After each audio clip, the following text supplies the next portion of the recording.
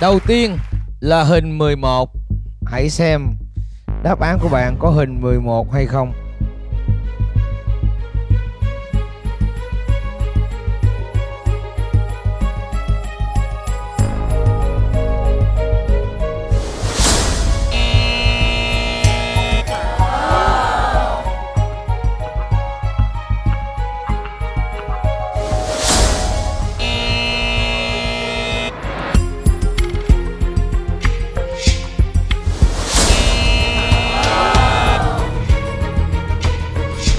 Không tự tin với đề 4 x 4 Cái điều này thì làm cho chúng tôi cảm thấy là có hơi một chút lo lắng nhẹ với cái khả năng thành công của Thái Tân ở trong những cái đáp án sau. Mì ba miệng tôm chua cay lấy nước cốt đột phá. Tinh túy ẩm thực Việt Tinh hòa trí tuệ Việt. Sting vị cà phê mới Năng lượng tỉnh táo Bừng sáng trí tuệ Việt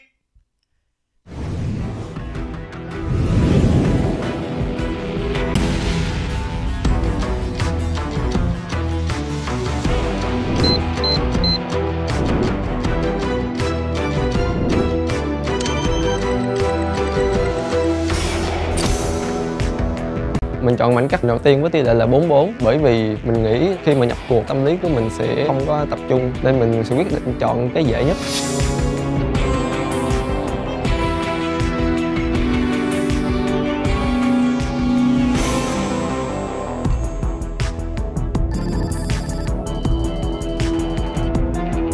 Ủa sao bạn này bạn nhìn xa quá vậy ta? Nhìn cả xa lẫn gần giống như Tuấn Phi ấy, thực tế là nó phải tưởng tượng nhưng mà làm sao? Không nhìn gần thì thí dụ như Tuấn Phi là nó không có gì hết. Còn này nhìn về cơ bản, nó vẫn, tại vì nó bị cao nhãn áp mắt của nó nhìn, ví dụ như nhìn giống như cái kính lúp thì nó sẽ phải nhìn thấy đường vân giấy, chứ không thể nào mà không có cái gì được cả. Tại vì đây là nhìn này là nhìn tưởng tượng chứ không thể nào mà ghi nhớ từng điểm một được Tôi nghĩ rằng là cái chiến lược mà Thái Tân sử dụng làm cho tôi liên tưởng đến Tuấn Phi. Cả hai đều sử dụng cái năng lực siêu tưởng. Thái Tân cũng phóng chiếu vào những cái mảnh à, pixel mà bạn ý nhận được để quan sát trên màn hình. Bạn ghi nhớ tất cả những cái hình ảnh đó, mã hóa nó Sau đó dường như là bạn ấy phóng chiếu ra qua mắt để mà áp vào tất cả các cái màn hình tivi Để tìm ra được đâu là cái mảnh ghép giám khảo đã ra đề? Rất là khó tin luôn á.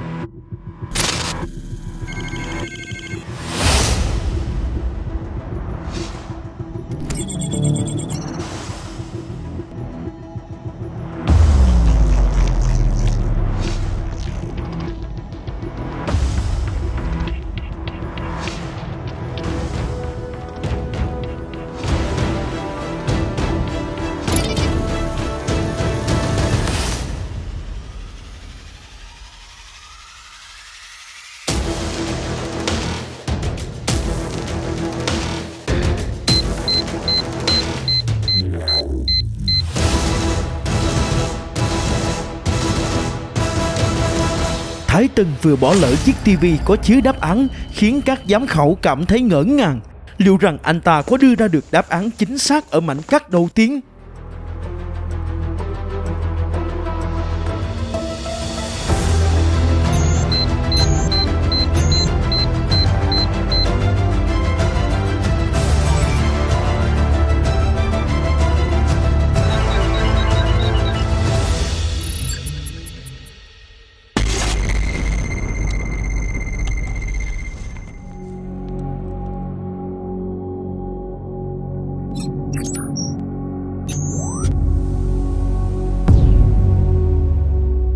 Lúc đi tìm hình ảnh đó thì mình rất là nghi ngờ khu vực 25 đến 28 bởi vì nó có rất nhiều chi tiết giống như hình ảnh mà mình cần quan sát.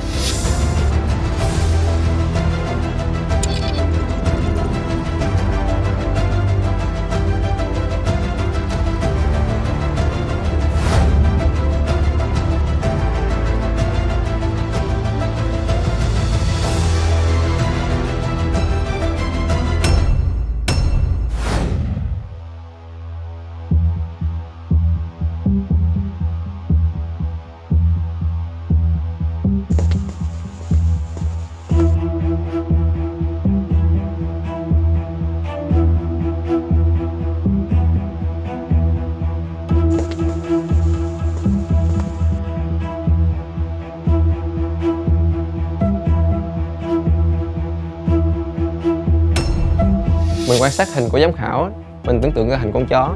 Nhưng mà khi mà đi tìm hết tất cả các hình, mình thấy ở đâu nó cũng ra con chó hết. Cũng có con chó, mũi màu đen, mũi màu xanh, mũi màu hồng cái đặc điểm đó là thứ quan trọng nhất quyết định được à, đáp án của mình. Cái việc mà phân vân giữa các phần ảnh giống nhau ở trong các ảnh điều này diễn ra rất là bình thường. Đơn giản như thế này nha bạn cứ tưởng tượng đi 28 triệu điểm ảnh nhưng chỉ thể hiện bằng 6 màu. Có nghĩa là cái điểm lặp lại điểm ảnh lên đến gần 4,7 triệu lần cho một màu. Đó là lý do tại sao á chúng ta sẽ không tránh được cái việc mà đôi khi nó bị trùng lặp một số nhóm nó gần giống nhau điều này nó cũng là một dạng gây nhiễu, làm khó thêm cái đề cho bạn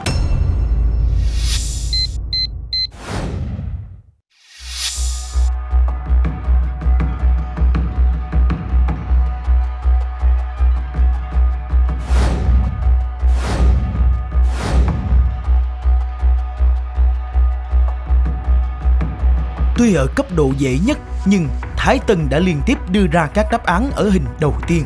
Điều này khiến các giám khảo cảm thấy lo lắng và hồi hộp cho Thái Tân.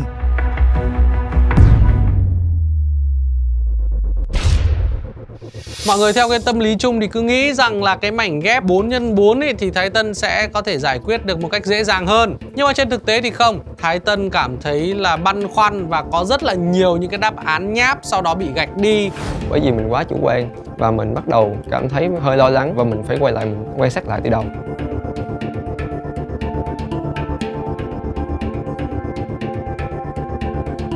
cái hình đầu tiên khi mình chọn, thật ra mình cũng chọn một cái ngẫu nhiên thôi, chứ mình cũng tưởng tượng mà không nghĩ nó khó, tại thật ra nhìn vô y chang. Cực kỳ khó, hình ảnh nó không rõ ràng. Mình phải mất thật lâu để tìm ra được cái đặc điểm trong một cái khung ảnh 4 x 4 đó.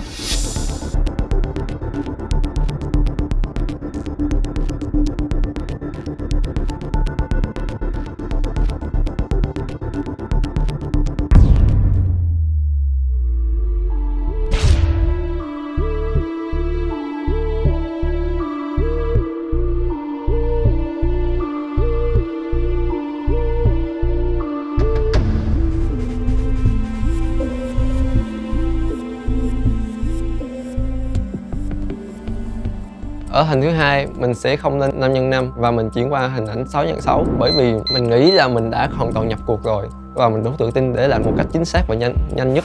Khi mà các bạn đã tưởng tượng trong cái tổng thể của cái bức hình thì khi tìm những cái hình khác cho dù chia nhiều hơn thì nó cũng sẽ dễ dàng hơn.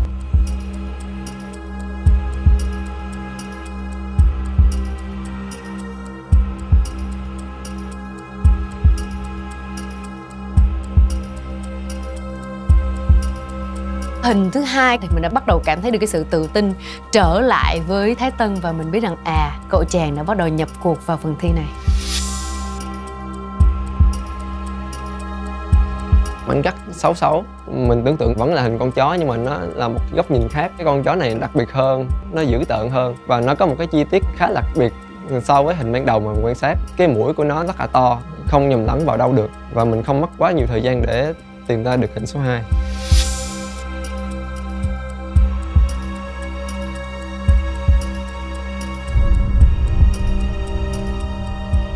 theo như tiên quan sát thấy á, thì Thái Tân đã rất rất là vất vả trong việc tìm ra cái ô 4 x 4 đó.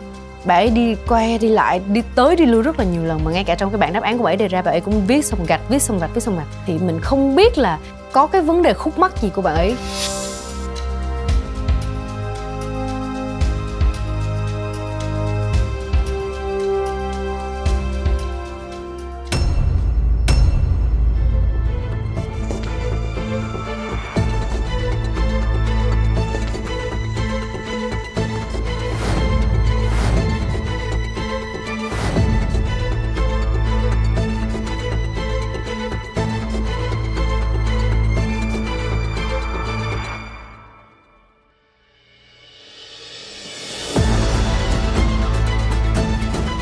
Sau một thời gian tìm kiếm thì mình tìm ra được đặc điểm riêng biệt nhất của nó. Mình bắt đầu khoanh vùng những cái phần mà nó giống nhau để đưa ra một đáp án đẹp và hoàn hảo nhất trong những lựa chọn mà mình phân vân.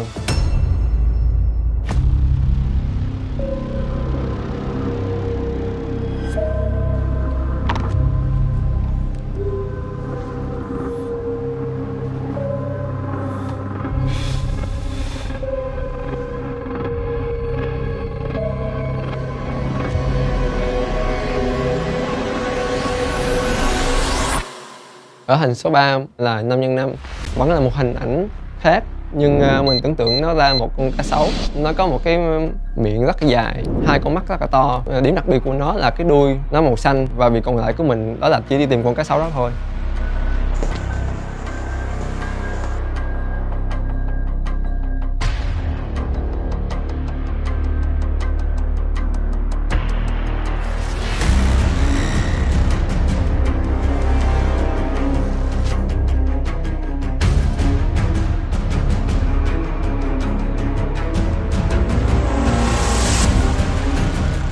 Trong cái thử thách này thì tôi muốn đẩy thí sinh lên một cái tầm cao mới hơn và gây ấn tượng nhiều hơn cho khán giả. Liệu rằng là tí nữa chúng ta có thể là nâng độ khó cho thí sinh bằng cách là anh Thành sẽ yêu cầu bạn phải xác định được cái tọa độ mà các giám khảo đã lựa chọn? Anh Nam là một người rất biết làm khó thí sinh những cái thí sinh mong manh của siêu trí tuệ Việt Nam. Thì mình nghĩ cái đó là cũng là một cái rất khó của giám khảo và thí sinh. Nhưng mà mình nghĩ khi bạn làm được thì ờ, làm cho mọi người cảm thấy ờ, thuyết phục hơn rất là nhiều em xong rồi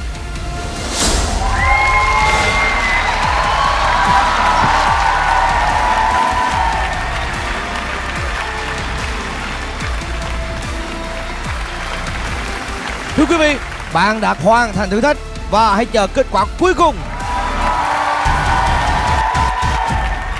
Và hiện nay trên bàn của chúng tôi đã tổng kết lại ba kết quả mà bạn đã lựa chọn. Sau khi biết nó nằm ở cái mặt phẳng nào rồi, giám khảo sẽ hỏi bạn tọa độ của cái ô đó nằm ở đâu trên cái mặt phẳng đó. à. Em có mất nhiều sức lắm không? dạ chắc là có Này là nó mất cái gì của em? do thị giác và trí tưởng tượng của mình tại vì à, một bức tranh ví dụ như 6 x 6 một ô nó sẽ là một cái hình ảnh riêng có nghĩa là em xem một hình ảnh, em tưởng tượng nó ra. Rồi sau đó là em ờ, mới so sánh lại cái hình mà em đã xem. Khi mà em xem nó quá nhiều thì nó sẽ bị tùm lum hình. Tại vì rất là nhiều chi tiết nó giống nhau Thật ra năng lực siêu tưởng nó là một con dao hai lưỡi. Bởi vì cái ảnh mà em tưởng tượng ra nó quá chân thật đi. Ví dụ em tưởng tượng ra con chó thì rõ ràng con chó nó có màu sắc, Nó sủa gâu gâu được luôn và có khả năng di chuyển được trên tờ giấy đó đó là năng lực siêu tưởng cho nên em phải khống chế được hình ảnh của em thì nó mới ở nguyên ở vị trí đó còn em mà không khống chế ha nó sẽ rớt ra ngồi hoặc là sẽ chạy đi đâu đó em cảm ơn anh Quý vị, tôi nghĩ đây là một khả năng thực sự là đặc biệt của những con người đặc biệt mới có được. Hy vọng bạn sẽ chính xác. Thưa quý vị, đầu tiên là hình 11. Hãy xem đáp án của bạn có hình 11 hay không.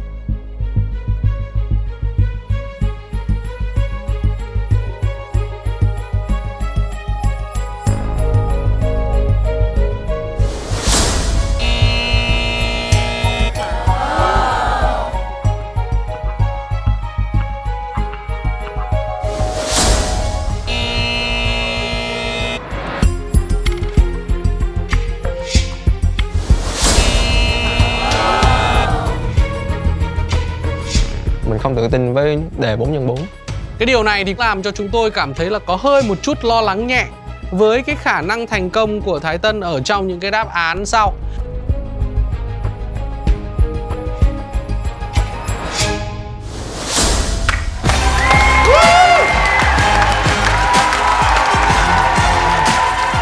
Chọn 8 nha. Bỏ. Rồi lại chọn 5 nha.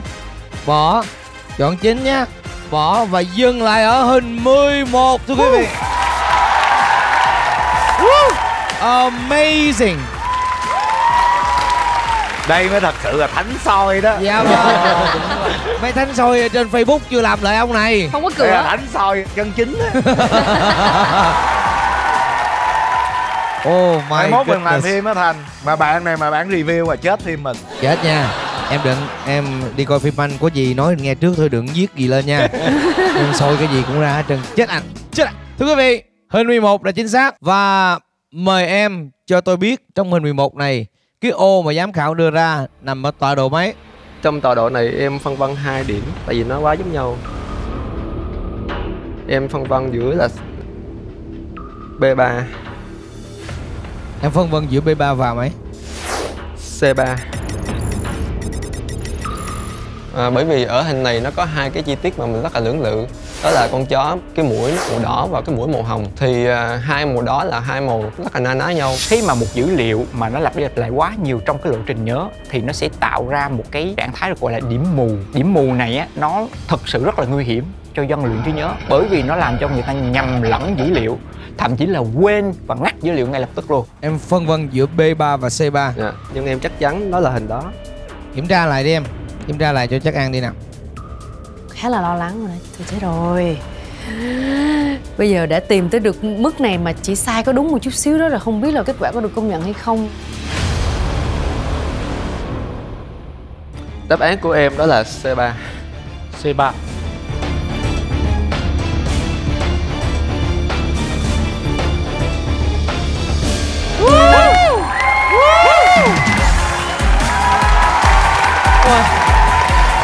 anh anh dũng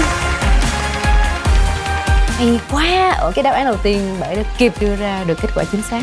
Cảm xúc lúc đó rất là lẫn lộn vừa vui vừa buồn. Vui ở chỗ là đáp án nó đúng nhưng ờ, sai ở chỗ là mình không tự tin với phần điều đó. Nhiều khi á, có những chuyện rất phức tạp họ tìm ra nhưng mà những chuyện đơn giản thí dụ như là để chia lại cái đó theo tọa độ nó lại không nằm trong đầu bạn những cái vấn đề nó ngay tức thời á, thì thường thường những người thông minh người ta cũng rất là khó đối phó. Bởi vì thường người ta làm những gì người ta chuẩn bị nó rất là kỹ. Cho hỏi 11 là có ai chọn à Anh Dũng phải không ạ? Hồi nãy bạn nói B3 anh có hú hồn không? Rất là thuyết phục quá khó. Ngoài sức tưởng tượng.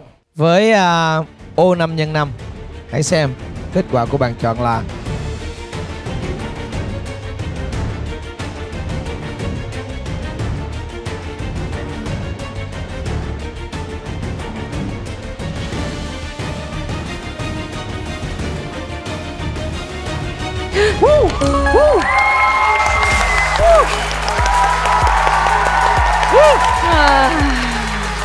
Ủa đúng hay sai mà dỗ dạ đúng. 13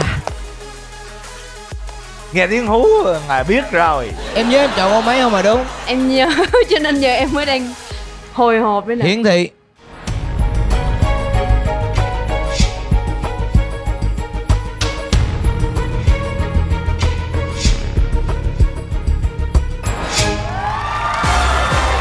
chính xác hơn 13 thưa quý vị. Hãy xem tọa độ mà bạn chọn của hình 13 nhé.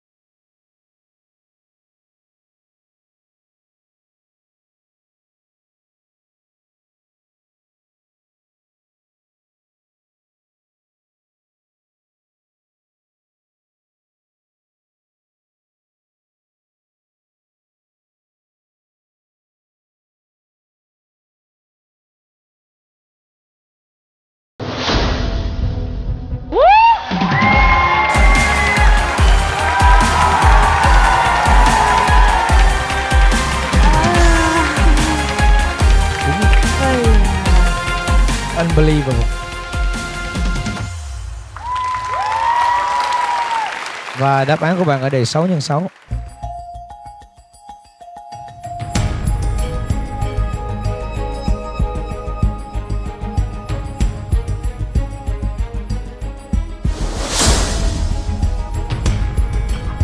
Đáp án của chương trình là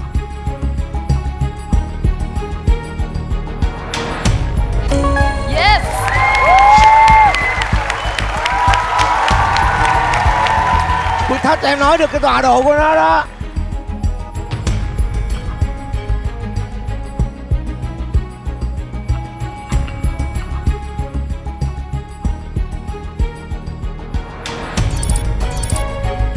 Ba cái vị giám khảo này cũng kiếm chuyện vòng vòng cái khu vực đó không ha?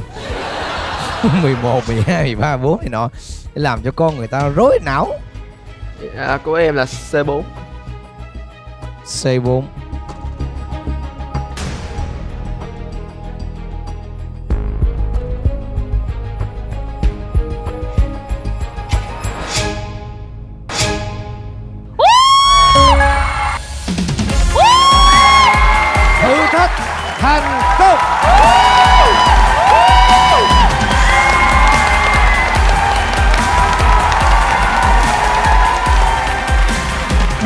sinh của siêu trí tuệ Việt Nam đưa ban giám khảo cũng như là khán giả đi hết từ bất ngờ này tới bất ngờ khác các bạn làm đúng liên tục liên tục làm cho chúng tôi thực sự hoang mang, không biết là còn cái gì khó hơn nữa, có thể làm khó các bạn nữa đây Siêu trí tuệ Việt Nam mùa 2 chỉ có trên HTV2 V Channel lúc 20 giờ thứ bảy hàng tuần. Đón xem Bếp vui bùng vĩ lúc 20 giờ thứ năm hàng tuần, chỉ có trên HTV2 V Channel. Tuệ Việt Nam mùa 2 20 giờ từ ngày 21 tháng 11